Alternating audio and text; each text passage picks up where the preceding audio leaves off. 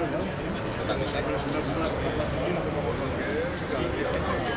Bueno, Alcañiz es muchas cosas, pero sobre todo creo que una de las cosas más importantes que Alcañiz, como acabo de indicar ahora, es patrimonio. Somos una ciudad patrimonial, hay ciudades que son industriales, otras ciudades que destacan, bueno, pues diferentes aspectos y nosotros, si algo podemos enseñar a los demás, aparte de nuestra historia, es esa historia reflejada en nuestras calles, en nuestros edificios. Nos gustaría también empezar a trabajar sobre la Iglesia del Carmen. Creemos que esta legislatura ahora mismo es bien de interés autonómico, pero nos gustaría que fuera catalogada también como bien de interés cultural y vamos a ver si podemos hacerlo, porque eso es un, antes y un después muchas veces para recibir ayudas eh, de patrimonio y poder ir restaurando. Podéis ver que las puertas han sido restauradas y barnizadas, la piedra ha sido limpiada de dos formas distintas, en unos casos con láser para los puntos más pequeños y detalles, en otros casos con silicato, creo que se llama el producto que han usado. Me recuerdo cuando empezó que vinieron algunos constructores a hablar conmigo porque me dijeron, ¿qué estáis haciendo? Es una barbaridad, en los años 80 lo hicimos y la piedra se desgastaba bueno, eh, la tecnología ha evolucionado tanto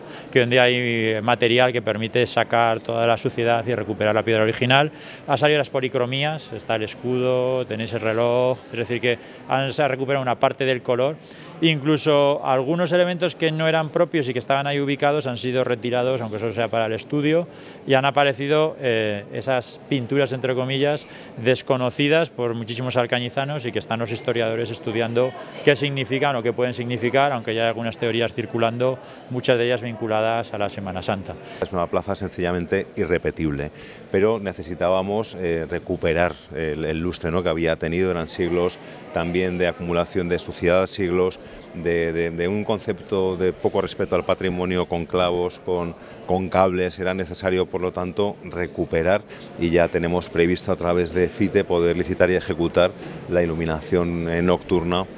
eh, de la fachada pues cuanto antes, de una iluminación que será también respetuosa con técnicas que van a evitar eh, incorporar elementos ajenos, es decir, eh, que permitan esa iluminación pero que no entorpezcan la, comprensión y la contemplación de la fachada durante el día. Y de esa, de esa capa de suciedad, de esa oscuridad, pues realmente detrás no teníamos muy claro lo que iba a haber y empezamos a limpiar y a trabajar y las sorpresas han sido múltiples y bueno y muy satisfactorias en muchos sentidos. El edificio tiene un uso que hasta ahora ha sido solo administrativo, que va a incorporar un uso también representativo y va a incorporar un uso desde el punto de vista museístico y bueno, la recuperación del edificio no se puede entender si no se acaba en su totalidad, que es mm, los cerramientos, las fachadas, su relación con la ciudad y su propio uso interno y sus dependencias. La segunda fase eh, tenía en principio un presupuesto del orden de un millón, millón y medio. ¿eh? Eh, digo del orden porque hay otros aspectos que tienen que ver con el edificio, que no están, como la iluminación, que dentro de muy poco tiempo pues vamos a poderla disfrutar también, pero bueno, podríamos hablar de ese orden de magnitud.